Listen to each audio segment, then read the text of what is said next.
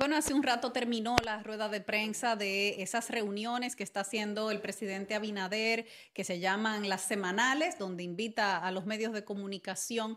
Y el tema, por supuesto, central fue todo lo relacionado al canal y al cierre de la frontera con Haití. Ahí el presidente habló de una serie de medidas, de medidas a corto plazo y a largo plazo también que se van a estar tomando. Dijo que algunos han considerado la medida del cierre de la frontera como parece que le estaba respondiendo a Leonel Fernández, pero aseguró que esa era la medida necesaria.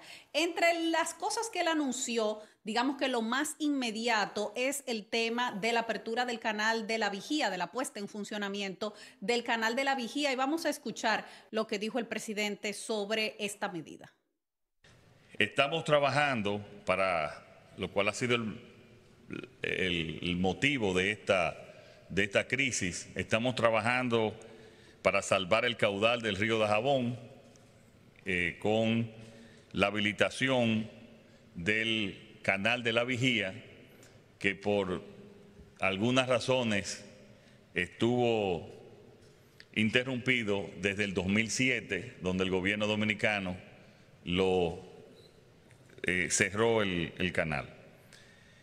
Para eso está aquí el ingeniero Olmedo Cava del INDRI y primero vamos a hablar sobre, si puede venir Olmedo, a informar lo que vamos a hacer en un periodo de dos a tres semanas donde vamos a desviar una parte importante del caudal. Siempre señoras y señores, nosotros continuamos abiertos al diálogo y lo que queremos es el diálogo para que poder sentarnos en base a las condiciones que fueron muy bien presentadas y firmadas por ambos países del tratado, de ver de qué manera podemos asignar el agua equitativamente a cada país, pero no hacer ninguna acción unilateral. Bueno, ahí están escuchando Faride y María Cela. Él está informando que se va a desviar las aguas del río Dajabón utilizando el canal de la vigía que estaba cerrado y que eso se va a hacer tan rápido como en dos o tres semanas. Eso fue lo que, se, lo que se, se, ha proyectado de tiempo para iniciar los trabajos conjuntamente con el INDRI. Estará involucrada también INAPA. El presidente también en este caso, en esta rueda de prensa, en estas conversaciones que está teniendo todos los lunes, hizo referencia a que la frontera jamás será la misma después de lo que ha ocurrido y que algo que llamó, llamó mucho la atención también el hecho de que eh, identificó a dos naciones adicionales como Panamá y Guyana que están interesados en comprar huevos y pollos a República Dominicana, que como sabemos tiene 11 días con la frontera cerrada y eso impide pues eh, lo que está ocurriendo en la venta y las exportaciones que tenemos, el negocio, los comercios que tenemos con Haití. De todas maneras, me, me pareció interesante que en el marco de la rueda de prensa dijo después de esto de la vía vamos a reconsiderar la apertura o no de la frontera. O sea que se están buscando espacios alternativas. Él, no, él no dijo específicamente si era si lo que iban a considerar era la apertura de la frontera, pero dijo que iban a considerar suavizar las medidas y entendemos que a eso es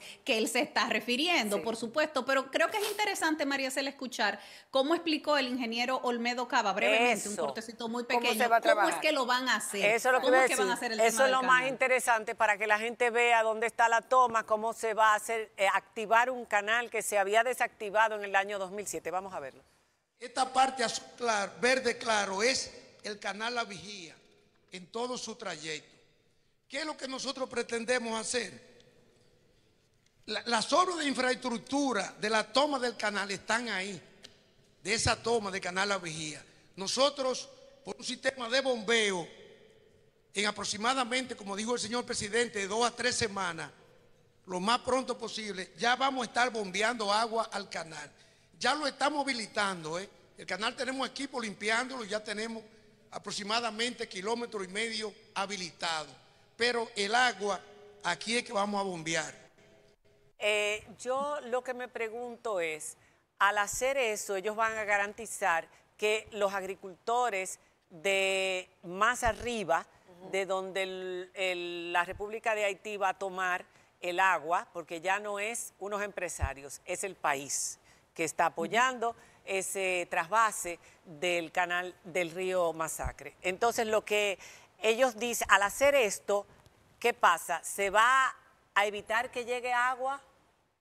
Se, le va a reducir. Obviamente que se le va a reducir el caudal dijeron, a ellos. ellos dijeron que el caudal estaba en 50 centímetros ahora mismo. ¿Tú no viste que también estaban diciendo? Eh, mira, el río de Jabón no es un río muy caudaloso. el ingeniero Olmedo lo explicó, que eso es menos de medio metro lo que, lo que normalmente tiene de caudal el río Dajabón. Exacto. Entonces, el gobierno dominicano que está anunciando este desvío a través del, del canal de la vigía, evidentemente que eso le va a reducir a ellos el caudal de las aguas, pero digamos que ellos empezaron. Eh, Diana, pero... Ok, mira, a mí me encantó esa expresión. O sea, Hay algo, empezaron, pero...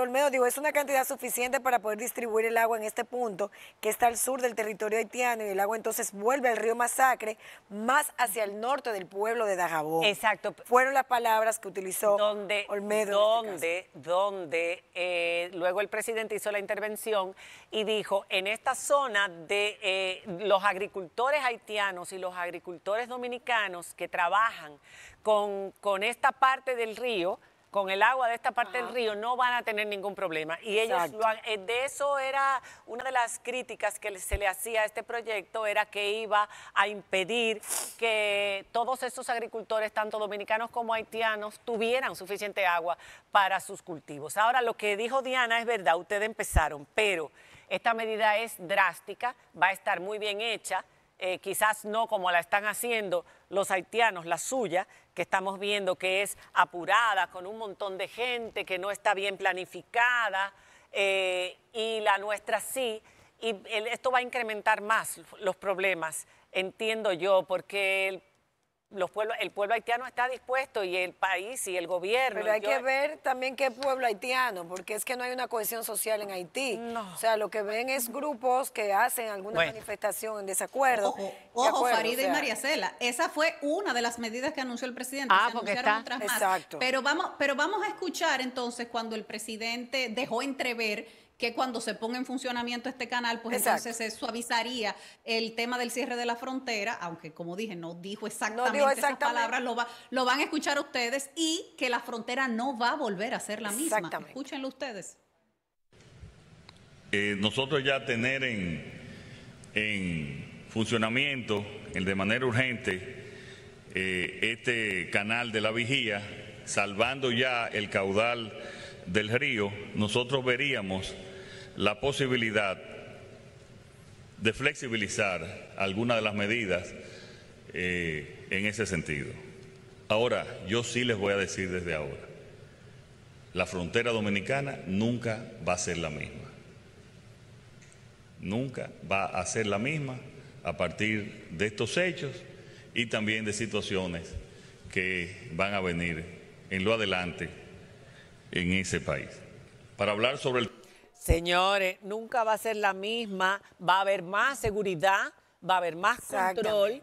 Eh, la frontera hasta ahora no ha sido la ideal debido a la situación entre los dos países, sobre todo la situación de Haití y la cantidad de migrantes eh, mm, ilegales. Entonces, obviamente, obviamente que tiene que ser diferente. Ya él dijo que se está identificando a la gente porque eh, también tenemos las bandas armadas que están en Puerto Príncipe, que la gente no se da cuenta cuando está siendo identificada, que ellos no van a revelar. Hay muchísimas medidas de seguridad que no, no se pueden revelar eh, de lo que se está haciendo, pero no va a ser la misma y eso está bien. Ahora, sigo insistiendo que ante la comunidad internacional quizás esto pase a, ser algo menor una vez se inicie eh, la misión de la Fuerza Multinacional, que a propósito nosotros comentábamos lo que había dicho aquí el embajador de China sobre que eh, no entendían que no era el momento para esa misión. Sin embargo, el presidente dijo hoy que tenía entendido por las autoridades y diplomáticas que sí, que ellos no se iban a oponer a esa misión y que Rusia era indiferente totalmente, que a Rusia no le interesaba ese tema. Pero, pero sin embargo, otros países sí han expresado su intención de participar. Lo hizo España este fin de semana, quien, quien, ya también se comprometió a formar parte de la misión multinacional. México también apoyó el, el, el, llamado para que el Consejo de Seguridad lo apruebe. Así que ya son varios países los involucrados que han ofrecido además apoyo logístico y de, y de, otra índole a Kenia. O sea que parece que va, esta semana es crucial, esta semana es cuando se va a votar, así que estamos esperando eso. Se anunciaron también medidas económicas y Tobisonó, el ministro, dijo que están haciendo levantamientos con la Contraloría en los diferentes puntos fronterizos de los productos, además, que están ahí. Porque para pagarlos, y esto es importante, hay que cumplir procesos de compras y contrataciones. Entonces, por eso no se ha podido desembolsarle pagos a, todavía a ese a todos esos productores. Entonces, dijo que se podía esperar que se empiece a pagarles a finales de esta semana. Eh, como dijo Faride, Panamá y Guyana han expresado interés en comprar más huevos y pollos. Se le va a buscar salida a esos productos eh, por esa vía. Porque hasta ahora, hasta ahora hay que decir, Diana, que el gobierno ha estado subsidiando a los productores para que no quiebren y para que los productos... Y que mañana tenemos una mesa donde vamos a, hablar ampliamente de este tema, vamos a tomar, a tocar el tema económico también. Y lo último es también que estaba leyendo que Francia está dispuesta a mediar en el conflicto entre República Dominicana y Haití. Ya Macron se ofreció y la Unión Europea quiere involucrar a la Unión Europea en esa mediación de arbitraje. Eso es bueno, eso, es, bueno, lo que, lo que no le beneficia a nadie es que haya un tranque eterno. Hay que buscar la forma de que esta y yo creo, se Y yo creo que también es bueno bajar un poco la hostilidad y entender que, como dijo el presidente, a través de las conversaciones y con el involucramiento internacional se puede llegar a resolver el conflicto que hay en este momento para evitar eh, que esto se vaya de las manos. Yo creo que con las conversaciones diplomáticas podemos lograrlo. Claro que